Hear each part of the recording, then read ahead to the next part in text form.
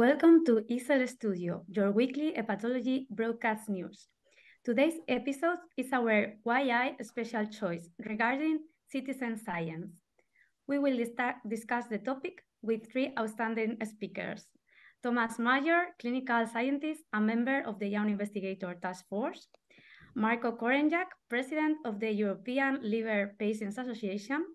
And Catherine Jack, chair of the Nurse and AHP workforce and postdoc researcher. Welcome you on board. Hi, Marta. Thank you. Hi, all of you. So starting with this topic, uh, Tom, I would like to ask you, how do you define uh, public involvement or engagement in research? What is it about? Thanks, Marta. It's a it's a real pleasure to be part of this discussion, um, and I think it's a really timely and important studio, particularly for young investigators. And it's great to be joined by such fantastic speakers. So, so patient and public involvement and engagement in research is something that we should all be familiar with. Patients uh, want it funders increasingly expect it, and it has such potential to widen the impact of our research. So, so what is patient and public involvement all about? Well, I think simplistically, it's when research is carried out with or by members of the public rather than performed on or about them. And, and there's an increasing move to see research as this kind of active partnership between researchers and patients, carers, and members of the public. And to my mind, there are four kind of overarching reasons why patient involvement is so important. Firstly, it's democratic. So people who are affected by research have a right to be involved and have a say in it. Secondly, patients definitely provide a different perspective and typically offer personal knowledge and experience which is relevant to our research topic. Thirdly, it improves quality and relevance of our research by ensuring that we focus on key questions that are important and meaningful to our target population. And lastly, we can't really shy away from it. Um, the fact that patient and public involvement represents a key priority for funders and for ethics committees. So, from a practical perspective, in order we have to be able to fund and deliver our research, and this requires integration of patients. So, patient involvement is democratic, broadens perspectives, improves quality, and helps get research off the ground. And I'm really hoping that we can touch on some or all of these points in our discussions today. Great. Well, that's a wonderful introduction, Thomas. Thank you. Um, so we also have uh, here representative of Patients Association, and, and also Catherine is really an expert involving patients in research. So I would like both of you talk about um, any uh, evidence or personal experiences where patients' input significantly influence their research outcomes. Can you comment on that? Yeah, do you want me to go first? okay. Um, go for it, Catherine. So when I um, the research I did from a, from a PhD was about understanding why people in prison don't want to be tested. So um, what I managed to do was get in contact with a service user forum um, local in Nottingham, and all of the individuals there had been um, in and out of prison at various stages of their um, drug taking career and they were able to give me some really candid advice about on two things really. Firstly, the survey that I was developing, they pointed out that my original version was far too long and people would just stick it in the bin without even bothering because it was so long. Um, and they explained that there was a few things that I needed to reword because literacy and, and understanding wasn't going to be that mm. great and and different languages there. Um, they gave me some advice on how I could optimally capture as many people as possible for a survey. In the end, they suggested that I simply did, but it turned out to be a really big paper round of de developing um, or giving rather um, a thousand envelopes under a thousand doors on, during several evenings after they were locked up for the night. But importantly, they also helped me with the, the qualitative interview guide as well and they was just saying, oh no, if you ask people about this, they won't necessarily give you the answers, but if you change your question round, you'll get you'll get different responses. So they really did help me um, just to understand how I could best get the information that I needed. So it was invaluable. Mm. Wow. So yeah. Really nice. Yes. Marko? Yeah. Mm. Uh, thank you very much for the invitation and thank you for the question. Mm. So uh, when I was thinking about the answer, so I remembered a dinner I had uh, many years ago with Pere Ginès mm. in, in Boston. And he said, okay, let's involve patients in the research. This was one project at uh, European Research Horizon 2020 and I, I, really didn't have a clue how patients can integrate into that.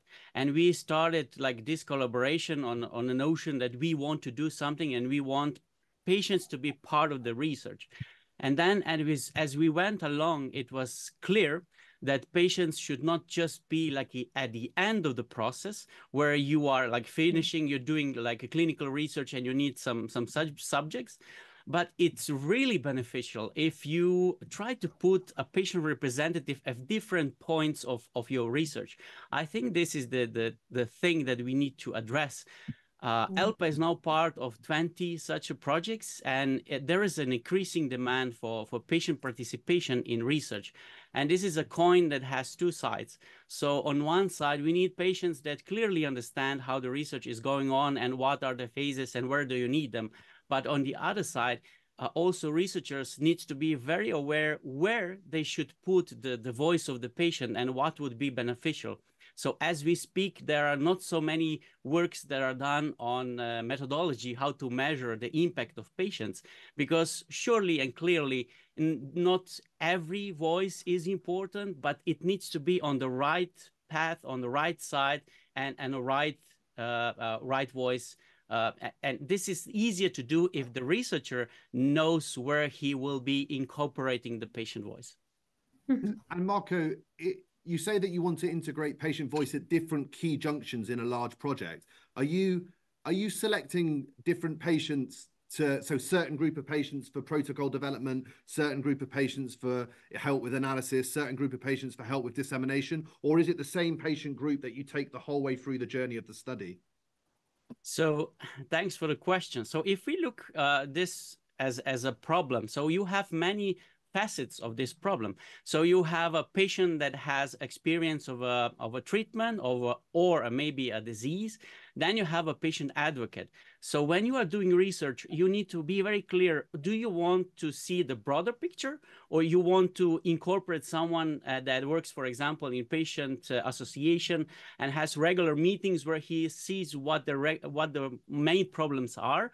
or is may, maybe more beneficial for your research that you have a person that has a specific disease so we have uh, patients that have like uh, uh, disease and they want to contribute and then we have like patient advocate with or without the experience of the uh, disease I think this is really in, I think this is really interesting, Marko, because as a researcher, if I'm trying to design a project, I look to think who are my best collaborators to contribute to different areas of the science. Whereas actually, what what you're explaining is you also are thinking what are the different type or or groups of patients that I need to group to, that contribute different areas of expertise to a project, which kind of is a different perspective for us as YIs to think about a large research project.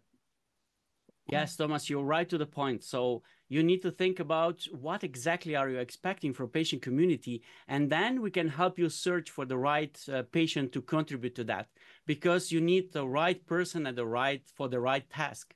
Sometimes you also need a patient that has some uh, medical background or, or a pharmacological education so that he will be able to contribute to the process. Mm -hmm. Yeah, mm. that came to my mind. Uh, how do organizations like ELPA works? How do you decide who should be the advocate, who should work with what researcher? So can you comment on that? How how is all elected? So at, at, at the moment, we work very closely with principal investigators at the beginning of the project, and we go through the signing of all the documents and everything, and we just explore where patient contribution would be beneficial.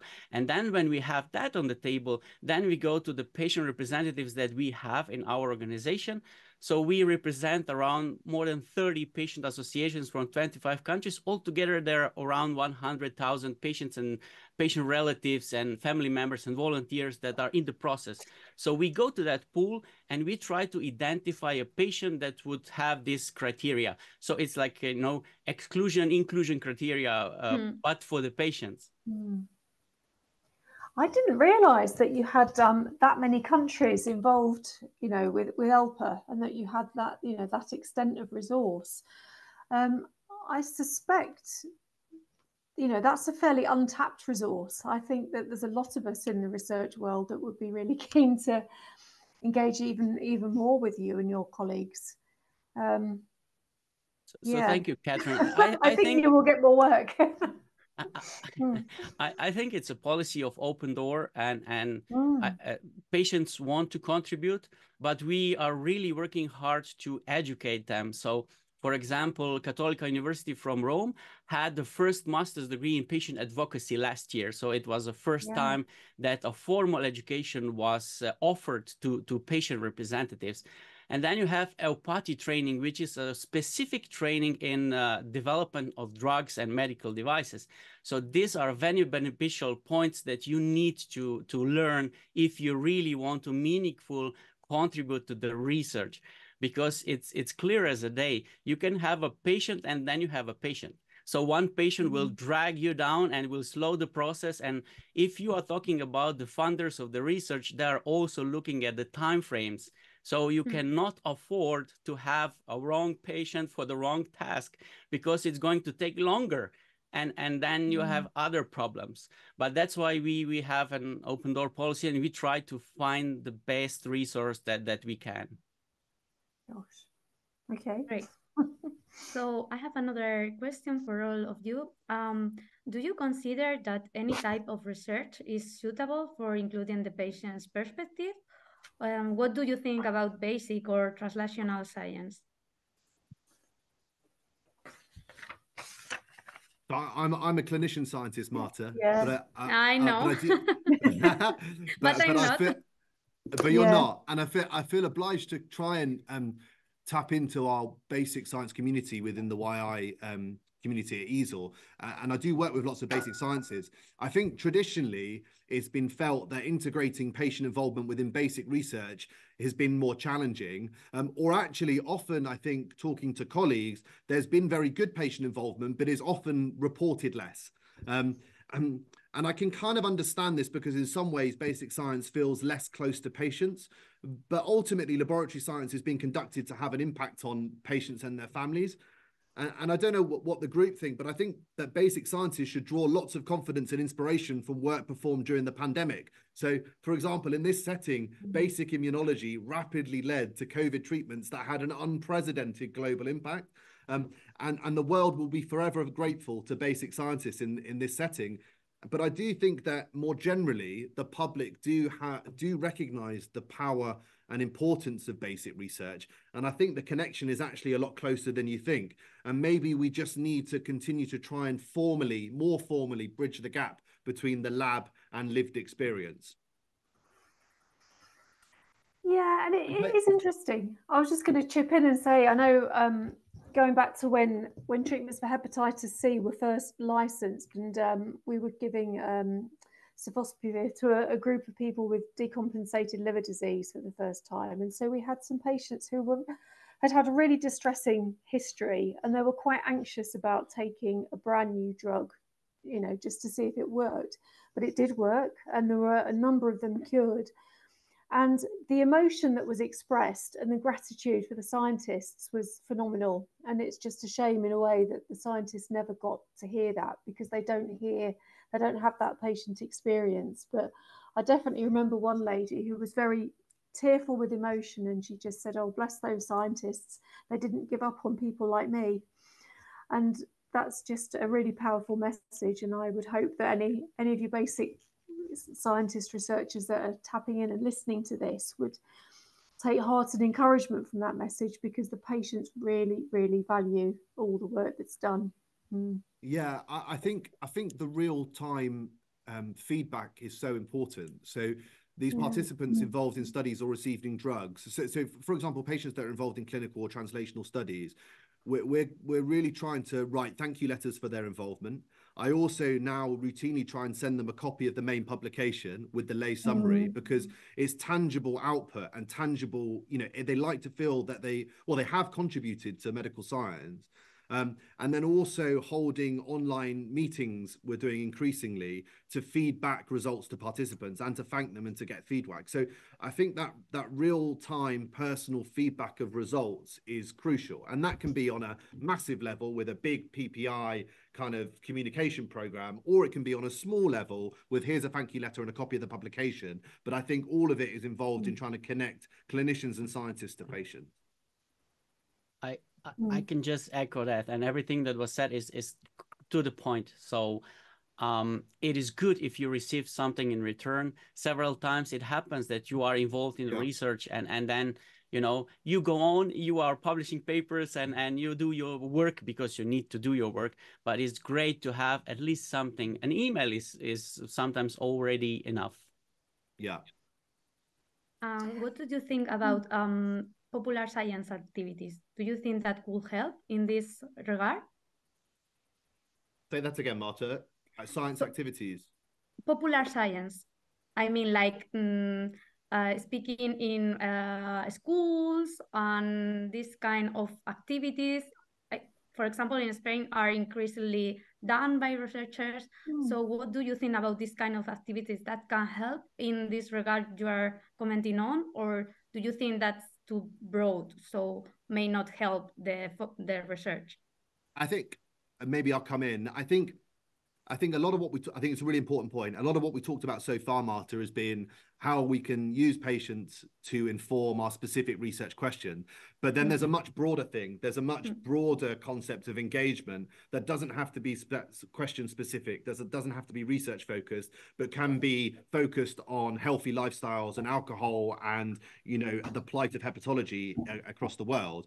And I know EASL doing lots of outreach incentives in, in that direction. Uh, and the ELPA are doing lots of incentives, which I'll cut to Marko yeah, yeah. I just wanted to chip in, and you know, EASL in London, when there was a conference in London, they went to schools, and also mm. uh, they went also to medical schools to to show what this is all about and why people should sh- should start study hepatology. So I think that was a step in the right direction because also. Absolutely on the lower level in, in schools, children need to learn about internal organs and also about the liver, which is hugely important, but usually we don't know that. Yeah, mm -hmm. and there are there are future young investigators. Ah. Yes. so, For sure. Crucial. and what are, what do you think are the biggest challenges uh, with evolving patients in research? Oh, I think one of the biggest challenges, if I may start this bit, is is actually encouraging some people to come forward, particularly if it's um, a condition that's more stigmatized. So I've um, been part of a, a wider liver research community, and we've been trying really hard to engage people with hepatitis B virus to get involved as, as PPI. And it's been really hard because people will often engage on a one to one basis or respond to an email, but to encourage people to get together in a group um, and, and, have that group um, discussion has been very, really difficult. There's been um, some work that we've done with uh, the British Liver Trust charity and, and some senior hepatologists who've got some, some work as part of an NIHR liver partnership grant to, to create a, a new research group for PPI involvement for hepatitis B. And it's we've had a couple of meetings and it's really taken off very well. And it's meant that the patients have been able to really help to shape the research question and you know help us decide what direction is the most you know most important to go down um, it's having a good relationship i think with the patients so that they trust you and then we'll come forward and, and sit with you mm. so if i may uh, yeah um, Sorry, Thomas. no, no, you go, you go. So, um, I, I think the first step is definitely to find the patients that would be willing to participate. Uh, when EASL had a conference in Vienna, I, I think that I addressed uh, the the the uh, all the researchers and saying that you know you are the one who are seeing patients you are the mm-hmm. one who can see if someone would be really perfect fit for having uh, a patient uh, advocacy or, or patient association and, and you try to motivate him and, and link him because that is something that happened to me. So i had nothing to do with hepatology but when i went to the treatment for hepatitis c in the process of the treatment we developed a really good relationship with my doctor. And at the end of the process she said you know it would be really beneficial if in slovenia we would also have a patient association. And this was the first step. But this is of course because you ask for the obstacles, this is of course just the first step. So finding patients, you need to be aware that we have two groups of patients. So we have chronically ill and we have acute illnesses. So the people with acute illnesses, 95% will come to the healthcare facilities and just go out. They just want to be cured. They don't want to hear about the research, about the phases, about the clean, nothing. So they just want to be fixed and go home and do their stuff. But then you have a small group of patients that are maybe chronically ill or have some kind of other condition, and maybe they have an interest to be in the field. So it's really important to like build up a, a fabric of network that would catch such a patient that would be interested in participation. And then when we catch them, we can educate them. We can show them how to participate meaningfully and, and with impact. I, I think that's mm. that's a, a, fantastic summary, and I think both Catherine and Marko mentioned the first uh, mentioned a couple of words which are first steps, and and I think for young investigators, it's about taking those first steps that are really important. Um, and so I think the first thing is you've got to involve patients and public in research. So don't fight it or be scared of it. You've just got to make the effort. Um, the second thing is I would say is that um, look around. Are there any PPIE schemes or groups locally that you can tap into? And often I found that one of my colleagues has already done the groundwork for me. Um, the next step, practically, I would suggest is are there local or national charities that you can access patients through? Um, and then otherwise, can you set something up like Marko says? Can you approach patients and start to get some momentum to set up a network? And I think it's worth mentioning at this stage that patient involvement very rarely needs ethical approval. So there may be local policies and best practices about approaching patients or remunerating patients, but actually there shouldn't be ethics approvals or long drawn out regulatory requirements. So I think mm-hmm. for young mm-hmm. investigators, you've just got to make the step, make the leap, and make the connections with patients to help them inform your research. Does that seem fair? Marko. Can I, can mm-hmm. I, eh, it, it, was an excellent addition. Can I just add one thing that we are like, we're working very strongly for.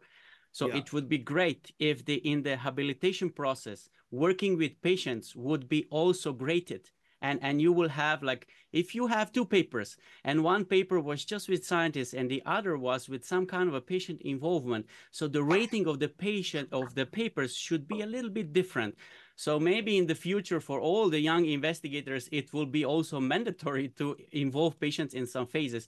So we are trying, pushing very hard to, to involve this into the habilitation processes where you want to be a professor or something that you need to like work with patients. But of course, this is two sides of one coin. On the other side, we need to be prepared for that. We, we, we need to prepare patients to collaborate with, with young researchers. Mm. Yeah, I think yes. I think grading of grants. It, I think I think it's being scored in grant proposals, Marko. Your involvement with with people with, with with patients, but I don't think it's yet mm. in the publication process, is it? And it, it may it may be coming that we're peer reviewed on the ability of our study and collaborators to engage with patients. Sorry, did I interrupt someone, Marta? No, no. I was just uh, thinking that um, uh, like Marko said, educating the uh, patients to be able to have the knowledge and the skills to uh, meaningful to, to make an impact on, on research is is difficult and it's time consuming. So I think it will be very difficult to find people um, wanting or that want to um, take those the, all that time to be educated and to uh, make these uh, approaches. So uh, probably it will take money also to to achieve this um, this aim. Yeah, money is the elephant in the room. I think mm. so. I, I think I think patients by and large are, are willing, they want to give back and they're willing to be involved. Um, but, but to build a comprehensive patient engagement program and to adequately remunerate them for their time costs money. And, and so you're absolutely right, Marta. When we're writing a grant, we should be writing in funds to you know set up set up the infrastructure to to properly integrate patients and marko and catherine may be able to comment more on that yeah, I think so. I mean, it, it's interesting. It's a chicken and egg situation because when you write a grant application, there'll always be a section that says words to the effect of what PPI engagement have you had already? What have you done? But then you haven't got the money in the first place from the grant in order to do that activity. So it's about being creative to understand where you can access small pots of money to get some PPI work initially. And it could be that the hospital you work in has a, a, charity that you could apply for for funds to, to do that. And it would simply be room hire, um, refreshments, paying the individuals. Um, Amazon vouchers goes down quite well, um, and people's transport and parking if necessary. Um, and that would initially get you off the ground. Um, or it could be that some of the senior hepatology researchers who you work with um, have got some underspend from another study that they would be willing to work with you and say yes you can have those you know there's a few hundred quid left there a few hundred euros you can have that for, to support some ppi activity to get your work off the ground and then you still cost in the ppi work in your own study but it means you've got some money that you can then bring forward the next piece of research that you do and Marko, you, mm. I think you've talked you've talked a little bit, Marko, about training your patients to in order to meaningfully mm. contribute. It, um, are there are there online resources freely available online resources for patients to tap into in terms of training them, or is it is that quite an expensive and involved process that's curated by ELPA? So um, we have several possibilities. So yeah. if you are a member of a patient association, the patient association will have resources to, to train uh, its members.